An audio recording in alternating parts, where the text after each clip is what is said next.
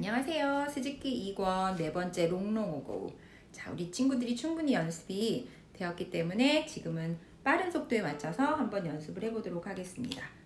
메트로놈 76에 맞춰서 자, 1, 2, 3, 4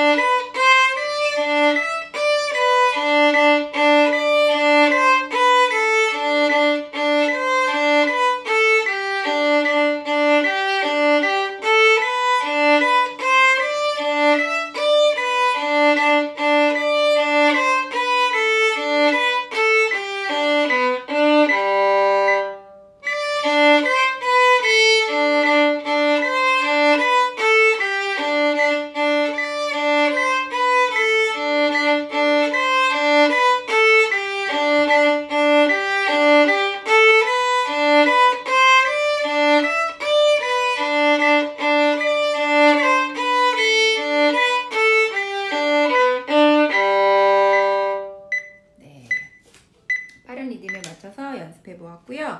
이 롱롱고 바리에이션을 충분히 연습하면 보호를 사용하는데 많이 어, 실력이 늘 수 있어요. 자, 빠르게 어, 천천히 연습을 한 후에 빠르게 연습을 하면 그 보호에 어, 얼만큼 빠르기로 연습을 해야 되는지 그 연습하는 데 도움이 될 수 있습니다. 네, 다음 곡에서 다시 만날게요.